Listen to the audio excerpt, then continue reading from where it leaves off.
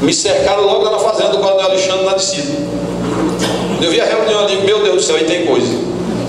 Nós queremos um colégio militar para Coroatá. E meu Deus do céu.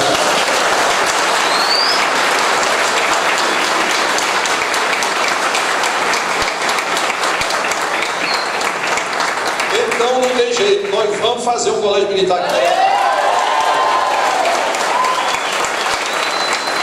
É isso aí. E vamos também mandar uma viatura nova agora picape para cá, para atender o batalhão. Tem aqui para Coroatá uma escola militar. Hoje o sucesso da educação disciplinar militar é reconhecido em todo o Brasil. Inclusive na projeção do Enem, é, na verificação, o sucesso do aluno dessas escolas está demonstrado. Além disso, da, da qualificação do ensino, a mudança de postura das crianças e rapazes e moças que recebem as instruções disciplinares baseadas em altos valores ministrados pelos nossos dirigentes militares.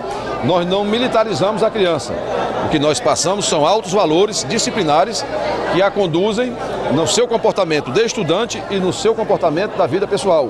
O que inclusive vai gerar para o futuro pós-escolar é, o equilíbrio para um adulto em relação àquilo que aprendeu numa escola militar.